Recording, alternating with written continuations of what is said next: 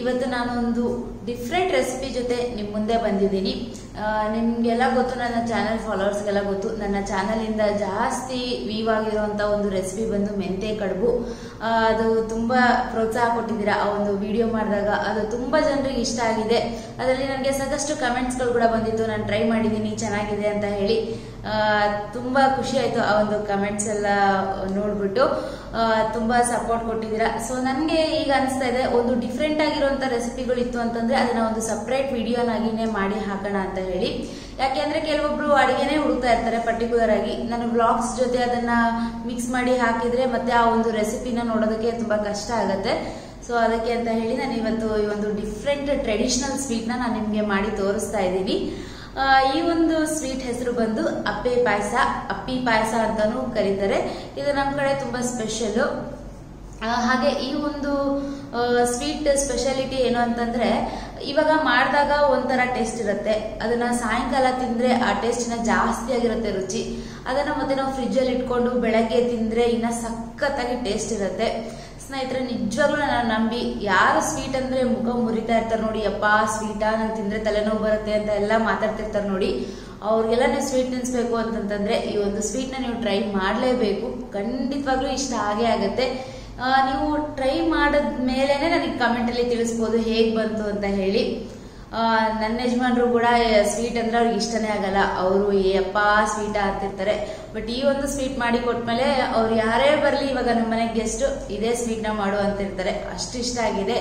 So ನಾನು ನಾನು ನಿಜವಾಗ್ಲೂ ನಂಬ್ಕೊಂಡಿದ್ದೀನಿ ನಿಮ್ಮೆಲ್ರಿಗೂ ಇಷ್ಟ ಆಗತ್ತಂತ ಸೊ ಬನ್ನಿ, ನಾನು ನಿಮ್ಗೆ ಇವತ್ತು ಅಡುಗೆನ ತೋರಿಸ್ತೀನಿ. ಸ್ನೇಹಿತರೆ, ಇದು ನಮ್ಮ ಪಾಯಸ ಮಾಡೋದಕ್ಕೆ ಫಸ್ಟ್ ಮೇನ್ ಇಂಗ್ರೀಡಿಯೆಂಟ್ ಬಂದು ಹಾಲು. ನಾನು ಇದು ಒಂದೂವರೆ ಲೀಟರ್ ಮೇಲೆ ಇದೆ ಈ ಹಾಲು. ಹಾಲ ತಗೊಂಡಿದ್ದೀನಿ ನೆಕ್ಸ್ಟ್ ಬಂದು ನಾನು ಇದು ತಗೊತಾ ಇರೋದು ಗೋಧಿ ಹಿಟ್ಟು. ಇದು ಒಂದು ದೊಡ್ಡ ಕಪ್ ಇದೆ, ಗೋಧಿ ಹಿಟ್ಟು. ಆಮೇಲೆ ಸಕ್ಕರೆ ಇದು. ಇದು ಕೂಡ ಎರಡು ಕಪ್ ಫುಲ್ ಇದೆ ಸಕ್ಕರೆ. ಹಾಗೆ ಇದಕ್ಕೆ ಡ್ರೈ ಫ್ರೂಟ್ಸ್ ಅಲ್ಲಿ ನಾನು ತಗೊಂಡಿರೋದು ದ್ರಾಕ್ಷಿ, ಗೋಡಂಬಿ, ಗಸಗಸೆ ಹಾಗೆ ಬಾದಾಮಿನ ಈ ಥರ ಹಿಂಗೆ ಫ್ಲೇಕ್ಸ್ ತರ ಕಟ್ ಮಾಡಿ ಇಟ್ಕೊಂಡಿದ್ದೀನಿ. ಈ ತರ ಹಾಕಿದ್ರೆ ಸ್ವಲ್ಪ ಚೆನ್ನಾಗಿರುತ್ತೆ. ಹಾಗೆ ಎಣ್ಣೆ ತೊಗೊಂಡಿದ್ದೀನಿ.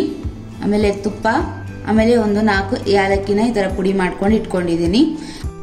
ಫಸ್ಟ್ ಬಂದು ನಾನು ಹಾಲ ಕಾಯ್ಸಕ್ಕೆ ಇಟ್ಕೊಳ್ತೀನಿ ನೀವು ಮಾಡ್ತಾ ಇರಬೇಕಾದ್ರೆ ಸ್ವಲ್ಪ ದಪ್ಪ ಇರುವಂತ ತಳನ ತಗೊಳ್ಳಿ. ಯಾಕಂದ್ರೆ ಹಾಲು ತುಂಬಾನೇ ಕುದಿಬೇಕಿದು.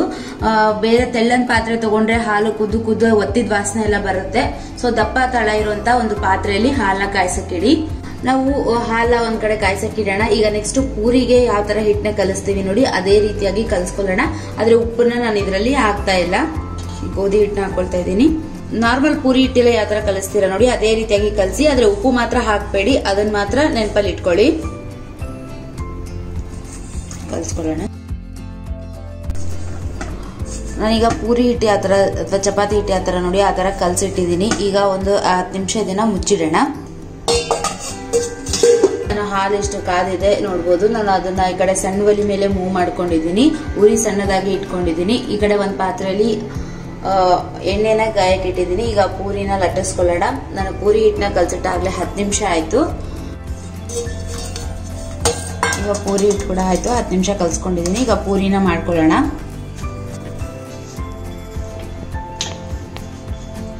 ಇದು ಪೂರಿ ಆ ಥರ ಲಟ್ಟಿಸ್ಕೊತೀರಾ? ಅದೇ ಥರ ಲಟ್ಟಿಸ್ಕೊಳ್ಳಿ. ಇದು ಏನಂತಂತಂದರೆ ಪೂರಿ ನಮಗೆ ದಪ್ಪ ಬರಬೇಕು, ಊದ್ಕೊಳ್ಬೇಕು, ಆ ಥರದ್ದು ಏನಿಲ್ಲ. ಇದು ಹಪ್ಪಳದ ಥರ ಬಂದ್ರೂ ಈ ಒಂದು ಪಾಯಸ ಆಗುತ್ತೆ. ಹೊಸದಾಗಿ ಮಾಡ್ತಾ ಇರೋರಿಗೆ ಪೂರಿ ಉಪ್ಕೊಂಡಿಲ್ಲ ಅಂತ ಎಲ್ಲ ಇರುತ್ತೆ. ಸೊ ನೋಡಿ ಯಾವ ಥರ ಬರುತ್ತೋ ಆ ಥರ ಲಟ್ಟಿಸ್ಬೋದು. ಸೊ ಎಣ್ಣೆ ಕಾಯೋಷ್ಟೊತ್ತಿಗೆ ನಾನು ಎಷ್ಟು ಪೂರಿ ಆಗುತ್ತೋ ಅಷ್ಟು ಲಟ್ಟಿಸಿ ಇಟ್ಕೊತೀನಿ ಎಣ್ಣೆ ಹಾಕಿ ಕರಿತಾ ಇದ್ದೀನಿ.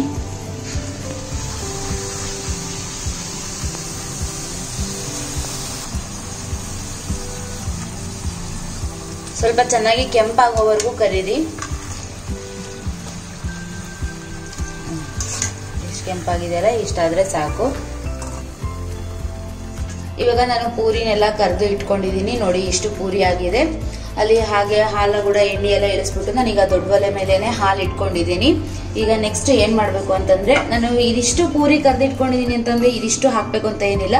ಈ ಪಾಯಸಕ್ಕೆ ಎಷ್ಟು ಬೇಕಾಗುತ್ತೆ ನೋಡಿ, ಆ ಕನ್ಸಿಸ್ಟೆನ್ಸಿನ ನೋಡ್ಕೊಂಡು ನಾವು ಪೂರಿನ ಹಾಕೊಳ್ಬೋದು. ಇನ್ನು ಉಳ್ಕಿದ್ದು ತಿನ್ಬೋದು ಅಷ್ಟೇ. ಈಗ ನೋಡಿ, ಈ ಪೂರಿನ ನಾನು ಸ್ವಲ್ಪ ಕ್ರಿಸ್ಪಿಯಾಗಿ ಮಾಡ್ಕೊಳ್ಳಿ, ಚೆನ್ನಾಗಿರುತ್ತೆ. ಈ ತರ ಮುರಿತಾ ಇದೀನಿ ನೋಡಿ.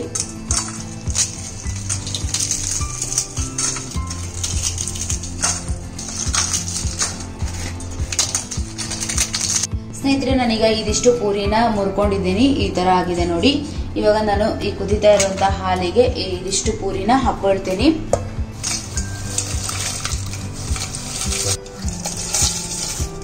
ಇಷ್ಟು ಹಾಕೊಂಡಿದ್ದೀನಿ.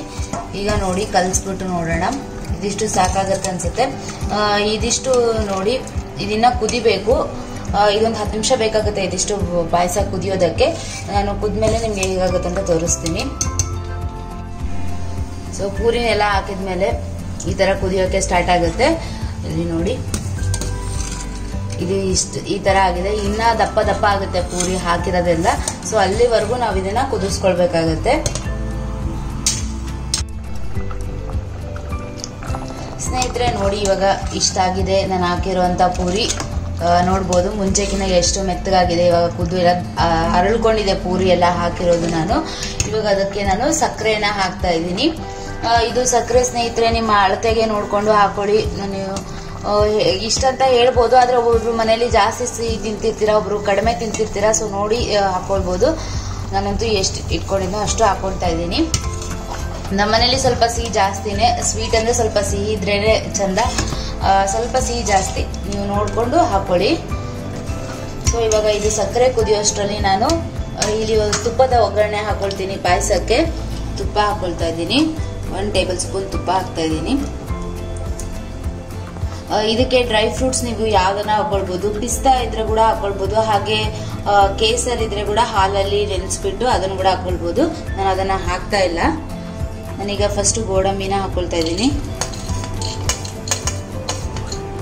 ಇದಕ್ಕೆ ಡ್ರೈ ಫ್ರೂಟ್ಸ್ ಎಜೆತ್ತವಾಗಿ ಹಾಕೊಳ್ಳಿ. ಎಷ್ಟು ಹಾಕೊಂಡ್ರು ಒಂಥರ ಟೇಸ್ಟ್ ಚೆನ್ನಾಗಿರುತ್ತೆ. ಒಂದೊಂದು ಸ್ಪೂನ್ಗೂ ಡ್ರೈ ಫ್ರೂಟ್ಸ್ ಎಲ್ಲ ಬರ್ತಾ ಇದ್ರೆ ಸಖತ್ತಾಗಿ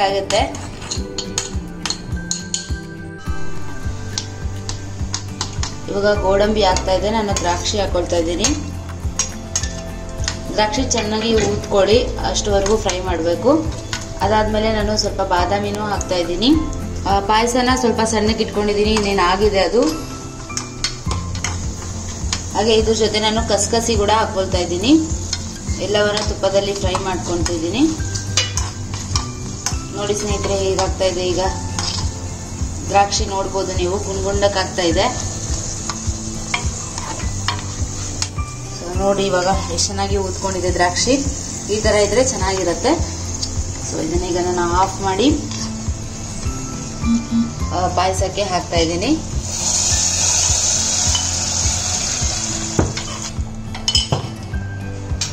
ಇದೆಲ್ಲ ಆದ್ಮೇಲೆ ಒಂದೊಳ್ಳೆ ಮಿಕ್ಸ್ ಕೊಡೋಣ. ಸ್ವಲ್ಪ ಈಗ ಒಂದು ಎರಡರಿಂದ ಮೂರು ನಿಮಿಷ ಪಾಯಸನ ಕುದಿಸ್ಬೇಕು. ಈ ಒಂದು ಹಂತದಲ್ಲಿ ನಿಮ್ಗೆ ಪಾಯಸ ಗಟ್ಟಿಯಾಗಿದೆ ಅಂತ ಅನ್ಸಂತಂದ್ರೆ ಸ್ವಲ್ಪ ಹಾಲನ್ನ ಕೂಡ ಹಾಕೊಳ್ಬಹುದು ಮೇಲೆ. ಇಲ್ಲ ನಿಮ್ಗೆ ಈ ತರ ಗಟ್ಟಿನೇ ಇರ್ಲಿ ಅಂತಂತಂದ್ರೆ ಸರಿ, ಇಲ್ಲ ಅಂತಂದ್ರೆ ಹಾಲು ಹಾಕೊಳ್ಬಹುದು ನೀವು. ನೋಡಿ, ಇಷ್ಟು ಹಿಂಗೆ ಸೌಟಿಲೆ ಈ ತರ ಜಾರೋ ತರ ಆದ್ರೆ ಸಾಕು ಈ ಪಾಯಸ ಕನ್ಸಿಸ್ಟೆನ್ಸಿ ಕರೆಕ್ಟ್ ಆಗಿದೆ ಅಂತ.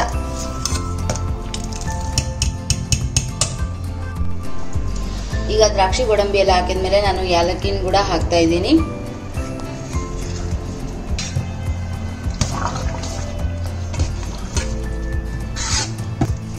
ಒಂದ್ ಎರಡು ನಿಮಿಷ ಬಿಟ್ಕೊಂಡು ಸರ್ವ್ ಮಾಡ್ಕೊಳ್ಳೋಣ.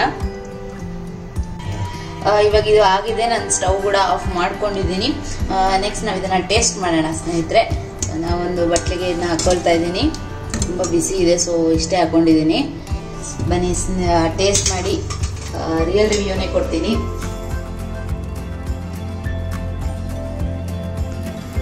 ಸ್ನೇಹಿತರೆ ರೆಡಿ ಆಗಿದೆ. ನಾನು ಮಾಡಿರುವಂಥ ಟ್ರೆಡಿಷನಲ್ ಪಾಯಸ ಒಂದು ಸಾಂಪ್ರದಾಯಿಕವಾದಂತ ಪಾಯಸ ಇದು, ಅಪ್ಪೆ ಪಾಯಸ. ಸೊ ಇವಾಗ ಟೇಸ್ಟ್ ಮಾಡೋಣ, ಹೇಗೆ ಬಂದಿದೆ ಅಂತ ನೋಡೋಣ. ತುಂಬಾ ಬಿಸಿ ಇದೆ.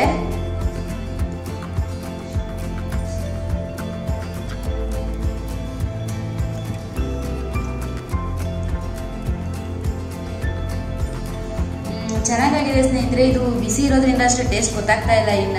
ಇದು ಆರಿದ ಮೇಲೆನೆ ತಿಂದ್ರೆ ತುಂಬಾ ಸಕ್ಕತ್ತಾಗಿರುತ್ತೆ. ಸೊ ಸ್ವೀಟ್ ಎಲ್ಲಾನು ಕರೆಕ್ಟಾಗಿ ಆಗಿದೆ. ಈಗ ಉಗಾದಿ ಹಬ್ಬ ಕೂಡ ಬರ್ತಾ ಇದೆ. ಸೊ ಈ ಒಂದು ಸ್ವೀಟ್ನ ನಿಮಗೆ ಟ್ರೈ ಮಾಡ್ಬೋದು. ನಿಮಗೆ ಫಸ್ಟ್ ಟೈಮ್ ಟ್ರೈ ಮಾಡ್ತಾ ಇದ್ದಾಗ ಫೇಲ್ಯೂರ್ ಆಗೋಂಥ ಚಾನ್ಸಸ್ ಇಲ್ಲ. ಇದನ್ನ ಆರಾಮಾಗಿ ಮಾಡ್ಬೋದು. ಹೊಸದಾಗಿ ಯಾರು ಅಡುಗೆ ಕಲಿಕೆ ಆಗ್ತೀರ ನೋಡಿ, ಅವರು ಕೂಡ ಇದನ್ನ ಆರಾಮಾಗಿ ಮಾಡ್ಕೊಳ್ಬೋದು ಈ ಒಂದು ಉಗಾದಿ ಹಬ್ಬಕ್ಕೆ. ಸ್ನೇಹಿತರೆ ಹೇಳ್ತೀನಲ್ಲ ಇಷ್ಟೇ. ಯಾರಾದರೂ ಹೊಸಬ್ರು ಈ ಒಂದು ರೆಸಿಪಿನ ನೋಡ್ತಾ ಇದ್ರೆ ಪ್ಲೀಸ್ ನಮ್ಮ ಚಾನಲ್ಗೆ ಸಬ್ಸ್ಕ್ರೈಬ್ ಮಾಡ್ಕೊಳ್ಳಿ. ಹಾಗೆ ಪಕ್ಕದಲ್ಲಿ ಕಾಣುವಂಥ ಬೆಲ್ಲೈಕನ್ನ ಕ್ಲಿಕ್ ಮಾಡಿದ್ರೆ ನನ್ನ ಮುಂದಿನ ವಿಡಿಯೋ ನೋಟಿಫಿಕೇಶನ್ ನಿಮಗೆ ಬರುತ್ತೆ. ಮತ್ತೆ ಇನ್ನೊಂದು ಇಂಟ್ರೆಸ್ಟಿಂಗ್ ರೆಸಿಪಿ ಜೊತೆ ನಾನು ನಿಮ್ಮ ಮುಂದೆ ಬರ್ತೀನಿ. ಅಲ್ಲಿವರೆಗೂ ನಮಸ್ಕಾರ.